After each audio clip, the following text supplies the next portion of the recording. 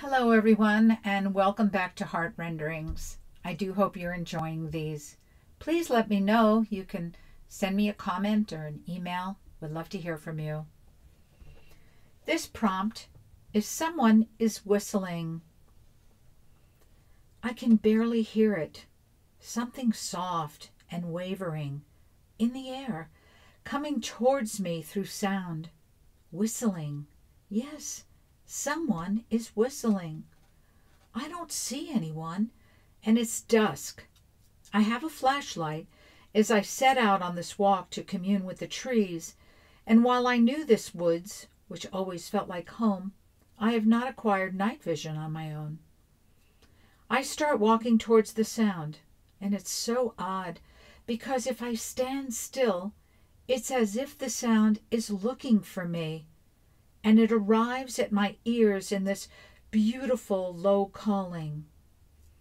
I'm going to see, or rather not see, closing my eyes and just follow the sound back to the owner. Here it comes.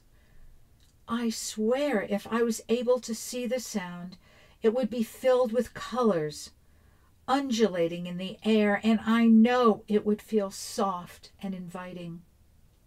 Again, here it comes, and I'm taken to walking towards it, and it's becoming easier to follow. I'm softening my eyes in hopes of actually seeing the sound. Yes, yes, just as I thought. It's gossamer and pale colors all swirling and nudging me closer. Closer to what? I'm not sure, and now I feel a welcoming warmth all around me, as if the sound has cocooned me in caring and guiding me to its owner. And again, I hear you. I call out into what seems like empty air, and yet it's not.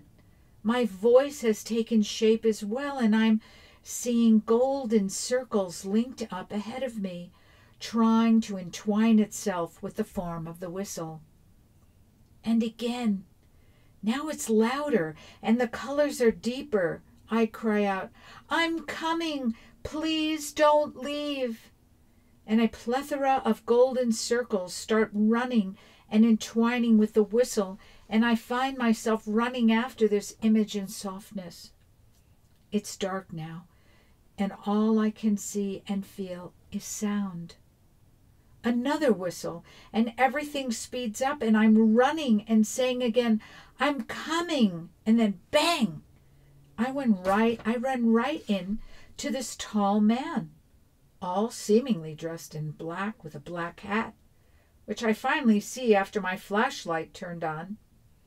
He's so familiar, and he holds me at arm's length and says, Don't you remember me, Jane? I'm speechless. And then, yes, yes, you come to me in my dreams. Are we dreaming? Finally, no, he says. I've been trying to find you, bring you to me through your dreams, to get you to the woods, to reunite. I've waited so long, he says, and this was the only way to connect.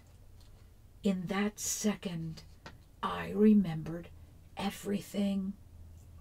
He took my hand and we stepped into the knot of the tree to finally live.